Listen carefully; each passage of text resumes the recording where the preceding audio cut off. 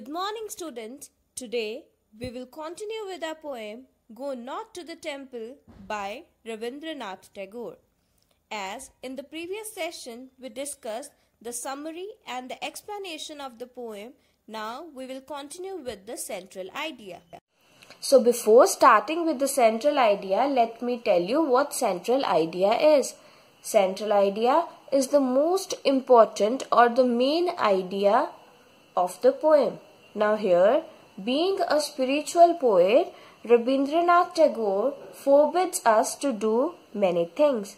Like he says, go not to the temple to put flowers upon the feet of God, to light candles before the altar of God, to bow down your head in prayer, to pray on bended knees, to ask for forgiveness for your sins, Instead of doing all these things, he says that first fill your own house with the fragrance of love. Remove the darkness of sin, pride, and ego from your heart. Bow in humility before your fellow men. Bend down to lift someone who is downtrodden. Forgive from your heart those who have hurt you. So, according to him, before serving God, we must serve humanity because serving humanity is like loving God, like serving God. So open your copies and put the heading Central Idea. From the margin line, start writing. Through this poem, the poet brings home the message that serving humanity is like loving God.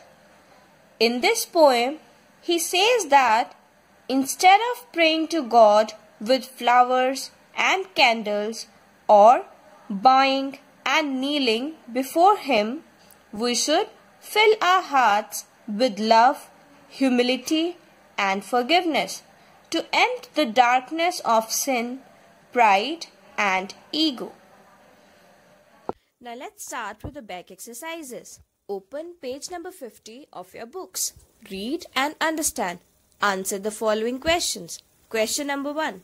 What does the poet ask people to do before they go to the temple and offer their flowers of devotion at the feet of God?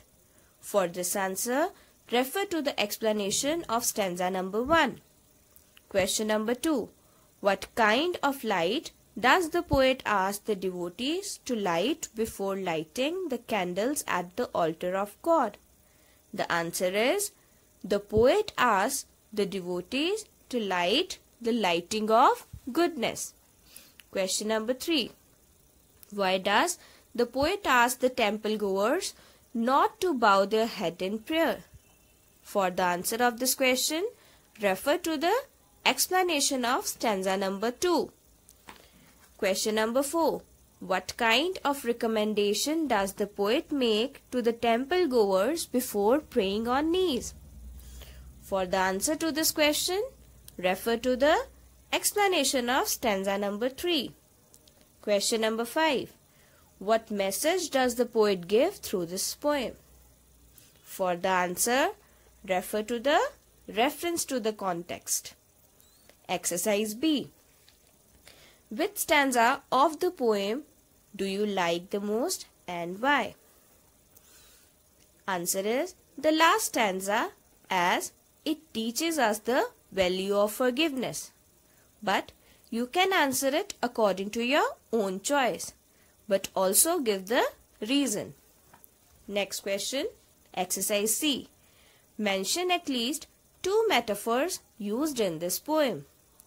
I have already discussed what metaphor is and also the two metaphors used in this poem. So, refer to the previous explanation that I did with you and write the answer. I hope through this video you have understood the poem Go Not to the Temple. Now complete your copy and book work. Remember to read the poem again and again for your better understanding. Thank you.